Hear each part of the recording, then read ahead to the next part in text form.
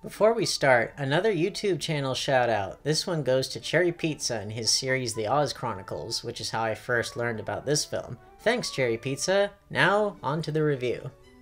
Time to go down under, mate, as we explore this amazing piece of obscure Ozploitation. And no, that's not an exploitation genre revolving around the land of Oz, as awesome as that would be. Ozploitation is a genre of crazy films made in Australia during the 1970s, since Oz is a colloquial name for Australia.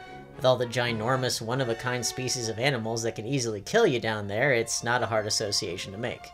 Anyway, in the psychedelic era of the late 60s, bizarre children's stories such as Alice in Wonderland and The Wizard of Oz were getting rediscovered and appreciated by the drug culture of the time, the 70s gave birth to glam rock, progressive rock, and the concept album as we know them today.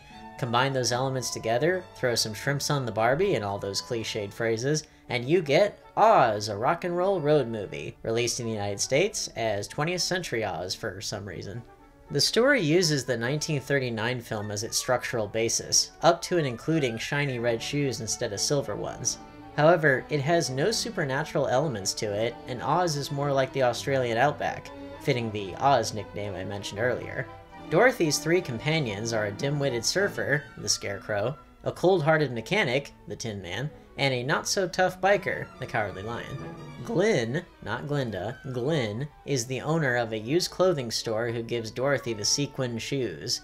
The Wicked Witch has been replaced with a nasty truck driver who wants revenge on Dorothy for killing his brother, the Wizard is a David Bowie-esque glam rock star that Dorothy wants to see in concert, so her quest is to journey across the Australian outback to see him on his farewell tour. I really enjoyed this film. For a film called Oz, a Rock and Roll Road Movie, it gave me exactly what I was looking for. It had the Australian outback, a kick-ass rock soundtrack, a lot of Australian slang, and it used The Wizard of Oz as a structural aid to tell its own grounded rock and roll story rather than doing a strict adaptation. I think this was a genius move because it allowed for the film's low budget to work for it rather than against it. If it tried to pull off supernatural elements and effects without the money to make them look convincing, the whole movie would have fallen apart. This film is the first one that we've looked at that's made for adults, including swear words and just the teensiest flashes of nudity, although I've seen PG-13 Mike Myers comedies that were far, far raunchier. The songs are fantastic, and it shows off what I guess the Australian outback looked like back in 1976. It's not necessarily for everyone, and I wouldn't call it deep, but I think most of you would be surprised by how much you can get into it. If you can find it, that is. I haven't been able to find a single copy of this film on DVD or Blu-ray that wasn't a bootleg. I ended up watching it on YouTube from some generous soul who uploaded it. However, if you are able to find it, definitely check it out. I think you'll be surprised.